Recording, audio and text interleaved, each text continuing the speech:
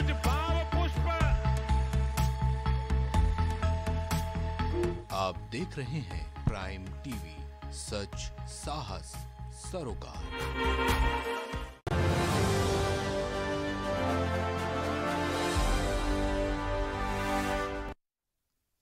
नमस्कार, उत्तर प्रदेश की खबरों में आपका स्वागत है। मैं हूँ आपके साथ अनुष्का सिंह। विधानसभा चुनाव के मद्देनजर जनविश्वास रैली को संबोधित करने के लिए केंद्रीय गृह मंत्री अमित शाह सुल्तानपुर दौरे पर थे। आपको बता दें कि इस दौरान सूबे के उप मुख्यमंत्री डॉक्टर दिनेश शर्मा और ज़िले के सांसद मेनका गांधी भी उनके साथ मौजूद रहीं।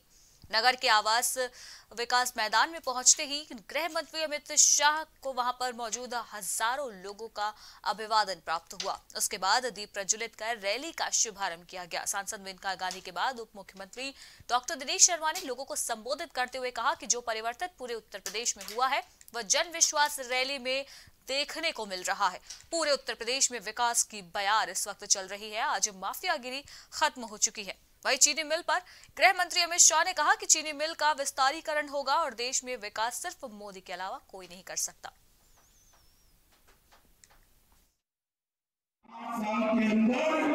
पूरे प्रदेश को बदलने का काम इस प्रदेश के मुख्यमंत्री आदरणीय योगी जी ने किया। मित्रों, आप मुझे बताइए, हम नारा लगाते हैं। अब की बार भाजपा तीन सौ पार। होगा या नहीं होगा? ज़ोर से बोले होगा या नहीं होगा? तो मैं एक बार बुलाता हूँ बोलिए। अब की बार। मित्र, इस समाजवादी पार्टी जिसने कार सेवकों पर गोली चलाई थी चलाई थी या नहीं चलाई?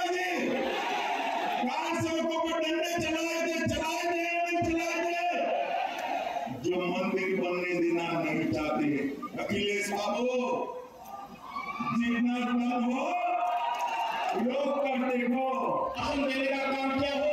चाहे हमने वैक्सीनेशन का काम क्या हो, चाहे हमने यहाँ पर घर में शौचालय के निर्माण का काम क्या हो, एक विकास की जो यात्रा चली है, पूरे उत्तर प्रदेश का माफिया राज आज समाप्त होकर एक नई दिशा पूरे प्रदेश को मिली है और ऐसे समय हमारे गृह मंत्री जहाँ जहाँ जाते हैं वहाँ वहाँ अपार जन समुद्र उमड़ पड़ता है आज अभी हम लोग अ, यहाँ पर एक, अ, दूसरी सभा करके यहाँ पर आ रहे हैं हरदोई में तिल रखने की जगह वहाँ पर नहीं थी पूरा मैदान और मैदान के साथ साथ जितनी जगह बाहर थी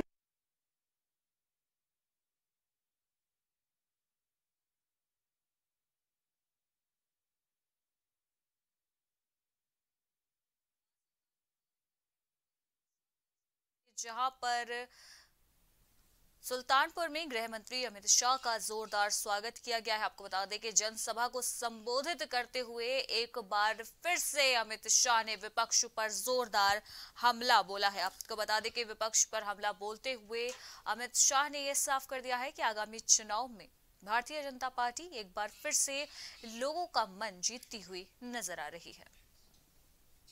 वहीं राजधानी लखनऊ में सत्तानवे हज़ार प्राथमिक शिक्षक भर्ती की विज्ञापन जारी करने को लेकर अभ्यर्थियों ने हंगामा किया। नई प्राथमिक शिक्षक भर्ती की विज्ञापन जारी करने की मांग को लेकर डीएलएड, बीटीसी, टीईटी पास अभ्यर्थियों ने विधानसभा पर धरना दिया। इसी कड़ी में आपको बता दें कि पिछले 20 दिनों से इको गार्डन में अभ्यर्थी धरना दे रहे थे। अभ्यर्थियों के हंगामा करने के दौरान पुलिस के साथ उनकी झड़प भी देखने को मिली। वहीं अभ्यर्थियों की मांग है कि विज्ञापन जारी कर उनकी मांगों को जल्द से जल्द हल किया जाए।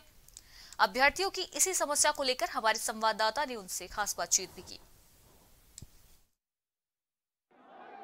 संतानवे हज़ार रिक्त पदों पे भर्ती के मामले को लेकर आज यहाँ अभ्यर्थी बापू भवन विधानसभा के ठीक सामने प्रदर्शन कर रहे हैं। विगत तीन घंटों से इनका प्रदर्शन चल रहा है। जी आप अपना नाम बता दें। मेरा नाम रविंद्र यादव मैं जौनपुर से हूँ 2017 बैच का प्रशिक्षु हूँ। एक बार बताइए किस मामले को लेकर आप लोग प्रदर्शन? हम लोग सत्तानवे हज़ार नई शिक्षक भर्ती के लेके आज 21 दिन से लगातार हमारे साथी हमारे नेता इको गार्डन में 21 दिन से बिना मतलब बिना किसी बिना किसी टेंट के वो आज 21 दिन से ठंडी में लगातार धरना दे रहे हैं लेकिन वहाँ पे सरकार का कोई मंत्री न कोई विधायक न कोई अधिकारी वहाँ से हम लोगों से मिलने के सतीश द्विवेदी से मिल चुके हैं शिक्षा मंत्री से मिले हैं अपनी बातों को रखे हैं। सतीश द्विवेदी से कल मुलाकात की डेट रखी गई थी लेकिन वो कल दिल्ली चले गए। जब ये जानते थे कि हमारी ड्यू डेट रखी गई है लेकिन उसके बावजूद वो कल दिल्ली चले गए और हमारे मुख्यमंत्री जी बैक डोर से निकलकर प्रतापगढ़ कानपुर की रैलियाँ कर रहे हैं। हम प्रशिक्षुओं से मिलने के लिए उन्हें एक पाँच मिनट का समय नहीं है। अच्छा, हमें ये बताएँ आप हमें ये बताएँ कि अगर कोई टेट क्वालिफाई करता है तो उसको अप्लाइंग जो अप्लाई करने का समय सीमा होता है वो क्या होता है? सबसे जो योग्यता थी जो शिक्षक पात्रता योग्यता है उस सरकार हर वर्ष लेती है।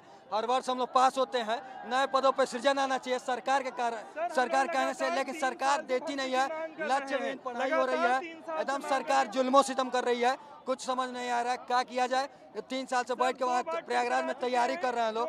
कुछ नहीं करा चुके। एक बार टेट करा चुके दो बार सीटेट भी हम लोग क्वालिफाई है। लेकिन कोई भी नई शिक्षक भर्ती की अभी तक अता पता नहीं। तीन घंटों से अपनी मांगों पे बैठे अभ्यर्थियों को पुलिस के द्वारा अब उन्हें गिरफ्त मिलने के और इको गार्डन की तरफ़ भेजा जा रहा है। अब मैं कैमरामैन से कहूँगा कि वो दिखाएँ और किस तरह से अभ्यर्थियों को गिरफ़्तार कर उन्हें इको गार्डन की तरफ़ भेजा जा रहा है। एक तरफ़ आप देख सकते हैं कि पीछे मेरे ठीक पीछे छात्र अभी भी प्रदर्शन कर रहे हैं और अपनी मांगों को उठा रहे हैं। कैमरामैन नीरज के साथ विभांशु प्राइम टीवी। वहीं आगरा में राष्ट्रीय बजरंग दल के कार्यकर्ताओं ने एक्ट्रेस सनी लियोन का पुतला फूका। आपको बता दें कि मधुबन गाने में राधिका नाचू गीत पर अश्लील डांस को लेकर आक्रोशित हुए हिंदूवादी हिंदू नेताओं ने एक बार फिर से निशाने पर लिया है एक्ट्रेस को। आपको बता दें कि हिंदूवादी नेताओं ने कहा कि बॉलीवुड हिंदू संस्कृति और सभ्यता से खिलवाड़ कर रहा है। वहीं अवतार गिल ने बॉलीवुड को चेतावनी भी दी है कि अगर हमारे हिंदू धर्म के इस तरीके की अश्लीलता फैलाने का काम करेंगे तो उन्हें बख्शा नहीं जाएगा। परंपरा रही है कि ये लोग हमेशा से हिंदू हिंदू सभ्यता, संस्कृति और और धर्म का विरोध करते हैं।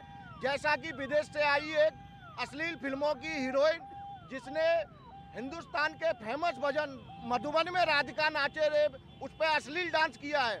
तो हम लोगों के माध्यम से आज सनी लियोन के पोस्टर जलाए गए हैं और ये मांग करते हैं सरकार से कि इसके ऊपर प्रतिबंध लगाया जाए। अगर धर्म के ऊपर कोई भी खिलवाड़ करता है तो उनके खिलाफ सख्त कार्रवाई होनी चाहिए। सनी लियोन एक एक्टर है इसने इससे पहले भी काफ़ी हरकतें करी है और ये बॉलीवुड की पहली कोई हरकत नहीं है, इससे पहले भी लक्ष्मी बम, पता नहीं ऐसी कैसी पिक्चर बनाते हैं और कहीं ना कहीं इसके पीछे लगता है कि कहीं ना कहीं बहुत बड़ी साजिश है, जो हिंदुओं को हर बार, हर दो महीने बाद, तीन महीने बाद ऐसी पिक्चर आती है, ऐसे सॉन्ग आते हैं, जो हिंदू भावना से खिलवाड़ किया जाता है। और हम लोग सिर्फ़ ज्ञापन दे के पुतले भूख के पोस्टर जला के शांत बढ़ जाते हैं। पर नहीं, समय चेंज हो रहा है, हिंदू बच्चा जाग रहा है, आने वाला समय इनको इनके घर में घुस के मारने का काम नहीं करे। तो नाम बदल लेना, राष्ट्रीय बजरंग दल का, अंतर्राष्ट्रीय हिंदू परिषद का।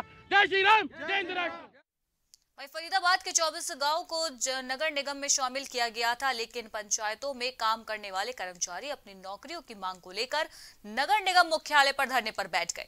इन कर्मचारियों का कहना है कि पिछले 10 महीने से उनका वेतन नहीं मिल रहा है। इसके अलावा पहले वह पंचायत में काम करते थे तो उनका वेतन आता था। लेकिन अब सारा रिकॉर्ड नगर निगम में ट्रांसफ़र हो गया है। लेकिन उनको अभी तक नौकरी पर नहीं रखा गया है, जिसके चलते उनके सामने रोजी रोटी का संकट आ खड़ा हुआ है। उनका धरना तब तक चलता रहेगा जब तक उनकी नौकरियाँ उनको नहीं मिल जाती। आपको बता दें कि फरीदाबाद के 24 गाँव को नगर निगम में शामिल कर लिया गया है, जहाँ पर आप पंचायत समाप्त हो गई है और सारा रिकॉर्ड नगर निगम को ट्रांसफ़र कर दिया गया है। बैठे सर। हमारे चौबीस गाँव नगर निगम में गए। हमारे कुछ सफ़ाई कर्मचारी कुछ ट्यूबवेल ऑपरेटर भाई माली। हैं कुछ। उनको ये यूँ कह रहे हैं तुम आप पंचायत के हो। नगर निगम अपने शामिल नहीं कर रही उनको। तो बताओ ग्यारह बारह महीना पेमेंट दिए हो गए इन लोगों ने। कोई पेमेंट नहीं है। तो कब से बैठे यहाँ पर धरने यहाँ परसों से बैठे हैं जी। क्या मांगे आपकी? अब ये मांगे जी हमें अब नौकरी दी जाए। हमें शामिल किया जाए नगर निगम के अंदर। रोज़गार मिलना चाहिए इतने साल से हम काम कर रहे हैं। अब हम कहाँ जाएँ? अब इस धरने पर हम इसलिए बैठे हैं हमें रोज़गार मिलना चाहिए। हमारे बच्चे के लिए रोजी रोटी हम भी तो देखो अपने बच्चों के लिए यहाँ पे बैठे हुए हैं। अभी तो एक साल से हमें तनख्वाह नहीं मिली उस दिन से हम काम भी कर रहे हैं। उन्होंने बोला कि आपका रिकॉर्ड नहीं आया हमारे पास। वीडियो ऑफ़िस जाते हैं तो वीडियो ऑफ़िस कहती है हमने रिकॉर्ड भेज दी। और दस महीने की तो पेमेंट हमारी नगर निगम आने से पहले की बकाया पड़ी है और उसके बाद की भी जितनी है नगर निगम आने के बाद की अब तक। आज भी हम भाई रेगुलर काम कर रहे हैं अपनी ईमानदारी कोरोना काल में काम कर रहे हैं। ये सर हमको दो साल दो साल के लोगों में पेमेंट मिले हो गई है। हमारे चौबीस काम नगर निगम के अंदर शामिल कर, कर लिए गए हैं। हमें अभी तक ना तो पेमेंट दी है ना हमें कोई नौकरी के लिए आश्वासन दिया गया आपको नौकरी मिलेगी। पहले आप तो पंचायत के अंदर काम हम पंचायत हम सर पंचायत में काम कर रहे हैं दस बारह साल पंचायत में काम कर रहे हैं हम। आज भी कर रहे हैं। तो पहले तनख्वाह मिलती थी। पहले मिलती थी। जिस दिन से हमको गया उस दिन से नहीं मिलती थी। नहीं हमको 20 अप्रैल 2000 से हमारे वेतन रुका हुआ है। हमारा जो वेतन पंचायत हमारे पंचायत वालों ने कह दिया हमारा तुम्हा- तुम्हारा 2000 लास्ट तक 20 तक हमने जमा कर दिया है। वो हमें, वो भी नहीं मिला अभी तक। और एक साल हमको अब तमाम जानकारी के लिए हमारे फरीदाबाद संवाददाता मनोज हमारे साथ जुड़ चुके हैं। तो मनोज, नगर निगम मुख्यालय के बाहर जो पंचायत कर्मचारी है, उनका धरना प्रदर्शन जारी है। क्या कुछ उनकी मांग है? बता दें चौबीस जिलों चौबीस गाँव के जो लोग हैं ये इकट्ठे होकर नगर निगम प्रदर्शन कर रहे हैं इनकी मांग है। दस महीने की जो वेतन है जो तनख्वाह वो इनको समय पर नहीं मिली है जिसको लेके ये फरीदाबाद के मुख्य नगर निगम पर प्रदर्शन कर रहे हैं कि इनकी जो तनख्वाह है वो समय पर इन्हें मिल दे दी जाएगी। जी मनोज इसका कारण क्या निकल कर सामने आ रहा है? क्या कुछ वजह है जो नगर निगम की तरफ़ से इन कर्मचारियों का पैसा इन्हें नहीं दिया जा रहा?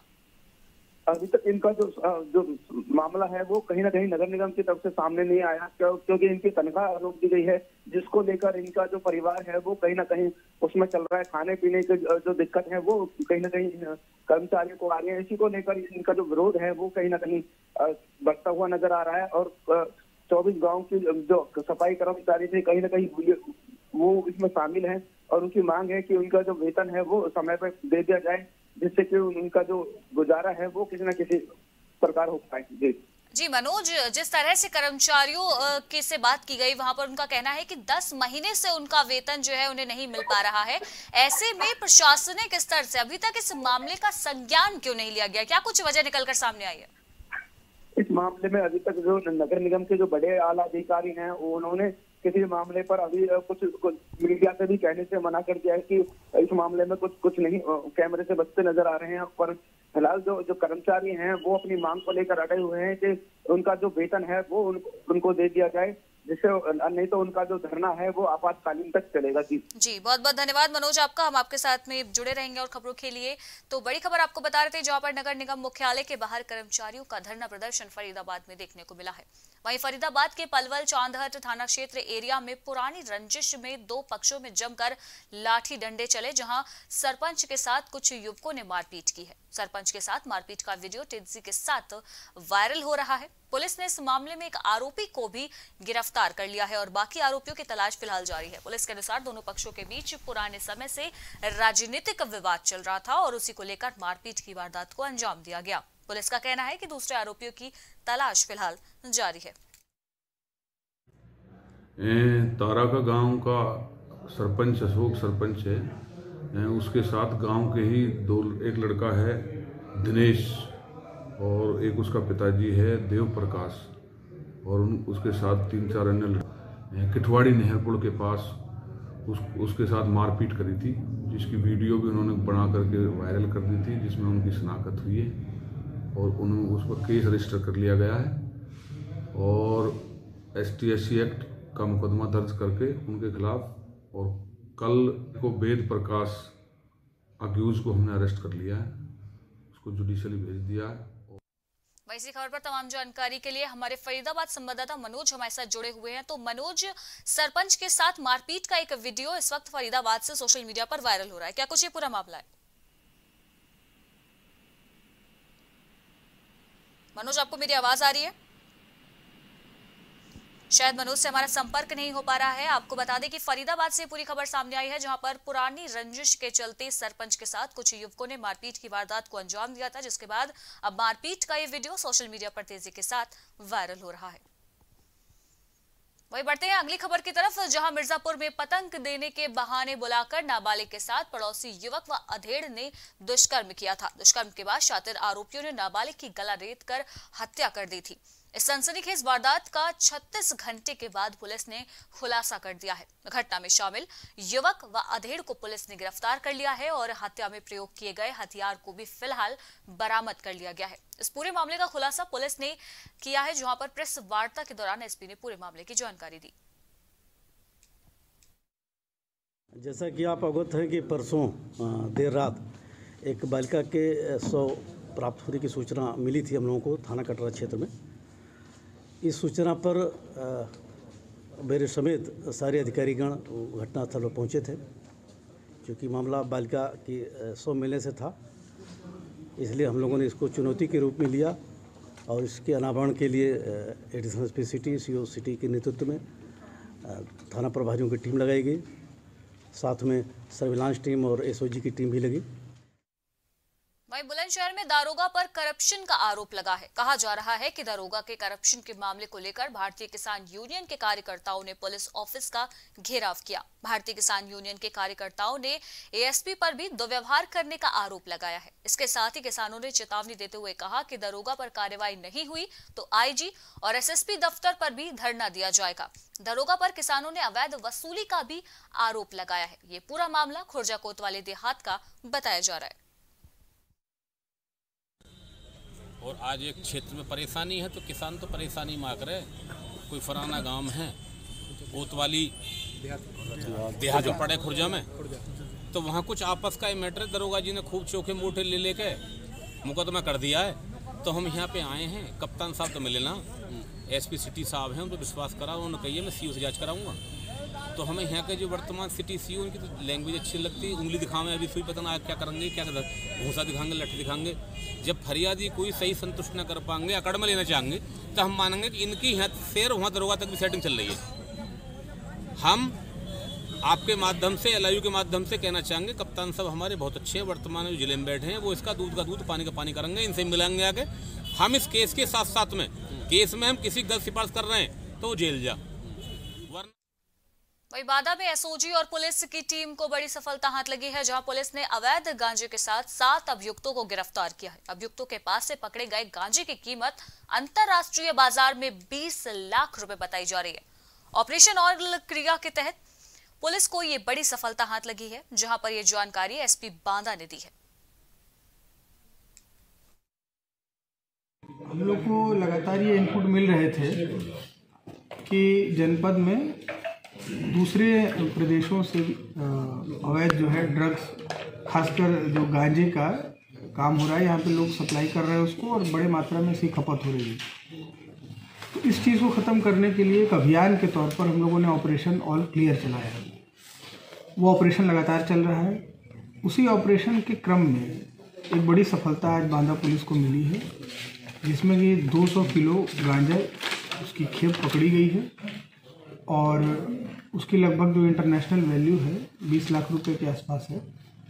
और ये खेप उड़ीसा से वाया छत्तीसगढ़ एमपी होते हुए बांधा आ रही थी और उसके बाद ये लोकल तरीके से डिस्ट्रीब्यूट होती है। लोग इस चीज़ को पिछले पंचायत चुनाव में भी इसका इस्तेमाल इन लोगों ने किया था। तो आगामी जो इलेक्शंस आने वाले हैं, उसके दृष्टिगत भी ये बड़ी सफलता मानी जा रही है। और इस हम लोग कोशिश करेंगे कि जो पूरे जो ड्रग का जो यहाँ सिंडिकेट चल रहा है, उसी कमर वहीं दिल्ली से सटे फरीदाबाद में चचेरे भाई ने अपने भाई की सरेआम तेज हथियार से हत्या कर दी। आपको बता दें कि हत्या की वारदात को उस वक्त अंजाम दिया गया जब मृतक अपने घर जाने के लिए बाइक पर अपने गाँव पाखल पहुँच गया था। तभी अचानक उसके ताऊ के लड़के ने अपने कई साथियों के साथ वो वहाँ पर पहुँचा और तेज धार हथियार से भाई पर हमला बोल दिया। आसपास मौजूद लोगों ने आनंद फानन में उसे सिविल अस्पताल में भर्ती कराया, जहाँ डॉक्टरों ने मृतक घोषित कर दिया है। फ़िलहाल पुलिस ने मृतक के परिजनों के बयान के आधार पर मामला दर्ज कर लिया है और आरोपियों की तलाश शुरू कर दी है। पुलिस ने बताया कि शिकायत मिली है कि बयान दर्ज कर फ़िलहाल ले, लिया गया है और शिकायत में चार आरोपियों के नाम भी सामने आए हैं। भाई, मेरे भाई अभी हमारा क्या नाम है? वहाँ पे गाँव में ही अपने चाचा ताऊ ने पहले ही दो तीन दिन पहले कंप्लेंट करवा के थाने में बैठवा रखा था ज़बरदस्ती दो ढाई घंटे बैठ के आए वहाँ पे। भाइया जैसे बाहर निकले उन्होंने टोल टैक्स पे इनके इसी लड़के ने जो दारू नशेड़ी गंजेड़ी इसने यहाँ पे क्या नाम है गाँव में टोल टैक्स पे आते नहीं पहले वहाँ पे हमला करा गाड़ी का शीशा फूटा हुआ है चार कंप्लेंट हमने पहले दे रखी है। पुलिस वाले कहते हैं हमारे रिटायर्ड जन आपको तुम परेशान करते हो जबकि आज तक हमारे नाम कोई केस नहीं है ना कोई एफ़ थी आज तक हमारे नाम पे कभी किसी पे। और पूरा गाँव गवाही दे सकता है। हमने आज तक किसी को विवाद को आगे नहीं बढ़ाया। इन्होंने मारने वाला कौन है जिसने हमला किया हमारा जो चाचा है हरियाणा पुलिस से रिटायर्ड है उसका लड़का है बड़ा वाला। क्या नाम है उसका? क्या नाम ललित नाम है उसका। सूचना के आधार पर और हम भी के फरीदाबाद में पहुँचे? तो उसमें जो किरसन का लड़का है राकेश है इनका, अर्जुन का। अर्जुन जो इसका इसका जो किरसन का सगा भाई है, छोटा छोटा भाई है, इनका बोर के ऊपर झगड़ा हुआ था। पानी का बोर लगवाने पर जो किरसन तो ये कह रहा था, भाई, पुराने जो बोर है, उसी में दोबारा बोर लगाऊँगी। लेकिन जो अर्जुन है, वो ये कह रहा था, भाई के नाम नहीं, जो हम अलग से बोर लगाऊँगे। इनका आपस में विवाद चल रहा था एक महीने से। जो इसी रंजिश को लेकर आज इस के नाम है अर्जुन के लड़कियों ने और इसके सर में तेजदार हथियार से वार करके इसकी हत्या कर दी। वही मथुरा में उद्योग व्यापार प्रतिनिधि मंडल ने एसटी विभाग की ओर से लगातार आवश्यक वस्तु पर कर की दरें बढ़ाई जाने के संबंध में ज्ञापन दिया। मथुरा नगर अध्यक्ष जितेंद्र प्रजापति, वृंदावन अध्यक्ष आलू बंसल के नेतृत्व में ज्ञापन सौंपा गया और केंद्रीय वित्त मंत्री निर्मला सीतारमन के नाम पर अपर जिलाधिकारी को ज्ञापन सौंपा गया है। ज्ञापन के ज़रिए कहा गया कि आम जनता पर महँगाई का बोझ बढ़ रहा है। व्यापार मंडल जीएसटी की बढ़ाई गई दरों का घोर विरोध करता है और आपसे अनुरोध है कि देश जनता और व्यापारियों के हित में जीएसटी की बढ़ाई गई दरों को वापस लेने का आदेश पारित करें।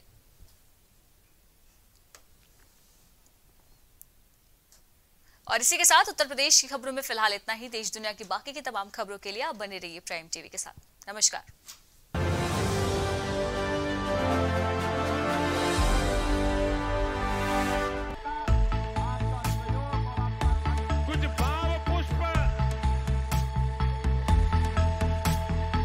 आप देख रहे हैं प्राइम टीवी सच साहस सरोकार।